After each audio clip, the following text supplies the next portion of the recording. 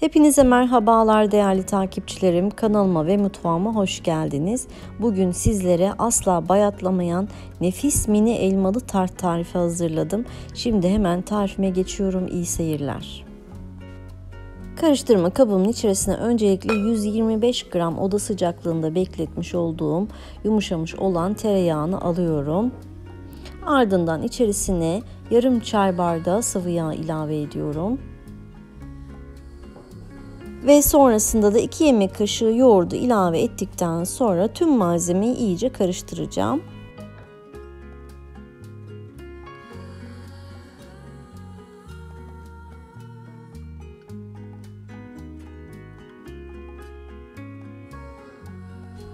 İyice karıştırdıktan sonra diğer malzemeleri geçiyorum şimdi. Bunun için bir yumurtayı kabımın içerisine alıyorum. Ardından 3 yemek kaşığı pudra şekeri, 1 yemek kaşığı nişasta, 1 paket vanilya, 1 çay kaşığı da kabartma tozu ekleyip tekrar karıştırmaya devam ediyorum.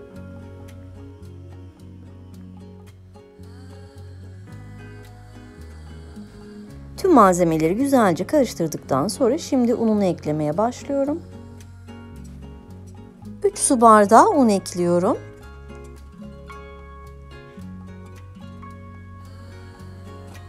Şöyle bir karıştırıp unun daha doğrusu hamurun kıvamına baktıktan sonra eğer isterse tekrardan un ilavesi yapmaya devam edeceğim.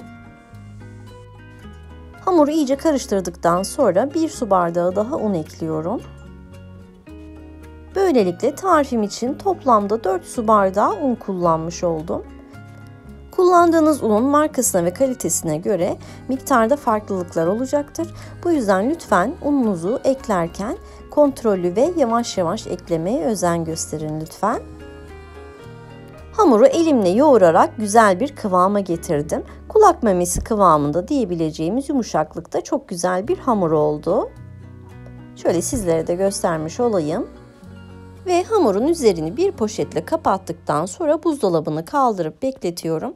O arada ben de elmaları yapmaya başlayacağım.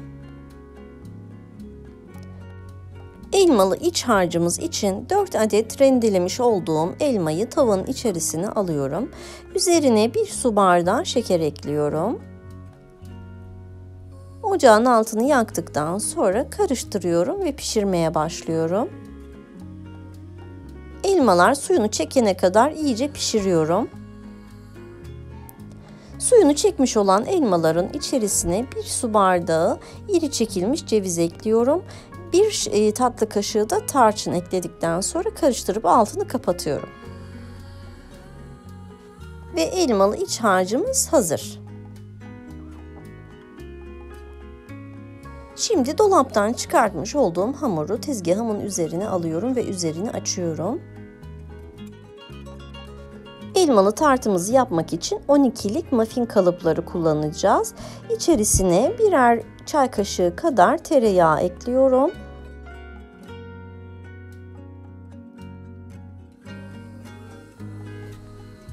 Yumurta fırçasıyla tüm muffin kaplarını iyice yağlıyorum. Elinizle de yağlayabilirsiniz.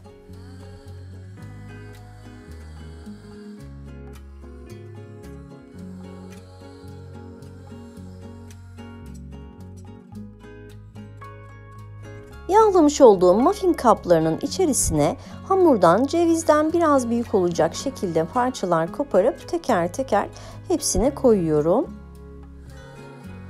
Videomu buraya kadar izlediyseniz ve beğendiyseniz beğen tuşuna basmayı, kanalıma hala abone değilseniz abone olmayı, tariflerimden anında haberdar olmak için de bildirim zilini açmayı unutmayın lütfen.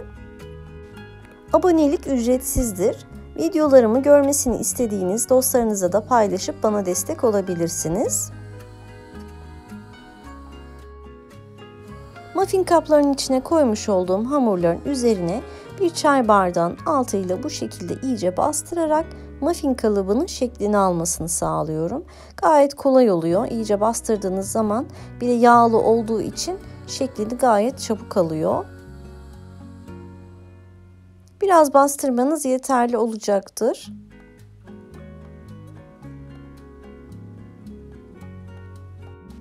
hamurların şekillerini verdikten sonra hazırlamış olduğum elmalı harçtan bütün hamurların içerisine dolduruyorum. Bu elmalı tartın özelliği elmalı harcının yoğun ve çok olması. Eğer elmalı iç harcı seviyorsanız gerçekten bu tarif tam size göre.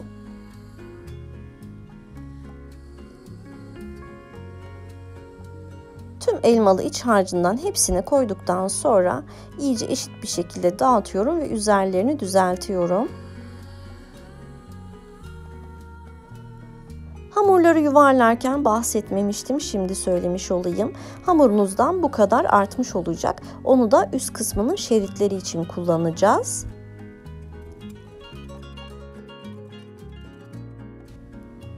Hamuru tekrar yoğurup düzelttikten sonra şimdi küçük bir merdane ile açıyorum. Ne çok fazla kalın ne de çok fazla ince yapmayın. Orta kalınlıkta olması yeterli olacaktır. Bir bıçakla bu şekilde uzunlamasına kesiyorum.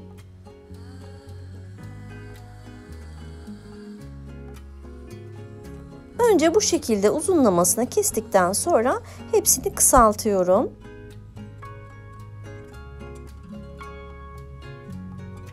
Kesmiş olduğum şeritleri elmalı tartların üzerine yerleştirmeye başlıyorum.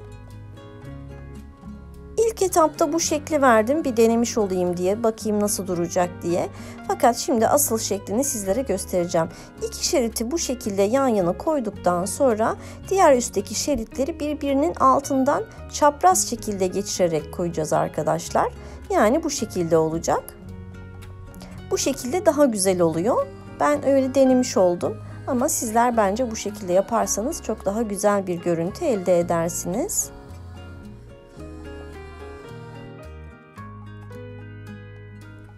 İnanın yapımı çok keyifli bir tarif. Yemesi zevkli olduğu kadar yapımı da gerçekten çok keyifli ve zevkli bir tarif. Dediğim gibi iki tane şeriti yan yana koyduktan sonra üsttekileri de birbirlerinin altından geçiriyoruz ve bu güzel şekli elde ediyoruz. Misafirleriniz için gerçekten güzel bir alternatif tarif olarak düşünüyorum bu tarifi. Sizler de en kısa zamanda bu tarifi deneyin derim.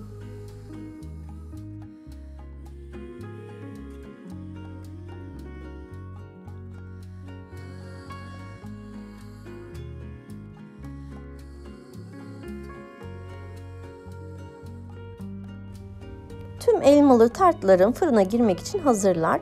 180 derece önceden ısıtmış olduğum fırında üzerleri biraz kızarana kadar pişiriyorum. Ve elmalı tartlarım piştiler. Çok güzel oldular. Şimdi servis yapacağım kabın içerisine ters çeviriyorum. Çevirdikten sonra tekrar hepsinin üst kısımlarını çeviriyorum.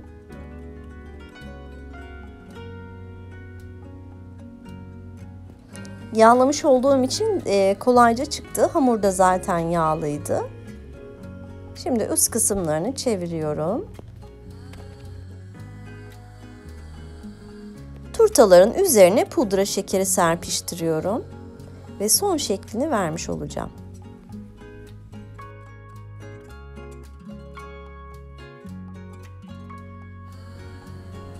Elmalı tartlarımız hazır. Şimdi sizlerle de yakından iç dokusunu paylaşmak istiyorum. Bakın gerçekten şekliyle de lezzetiyle de mükemmel bir tarif. Çok güzel oldu. Şimdi iç dokusunu da şöyle yakından göstereyim. İçi bol dolgulu, kıyır kıyır gerçekten de muhteşem görünüyor. Videomu beğenmeyi, kanalıma abone olmayı ve bildirim zilini açarak bana destek olmayı unutmayın. Güzel tariflerde görüşmek ümidiyle, hoşçakalın.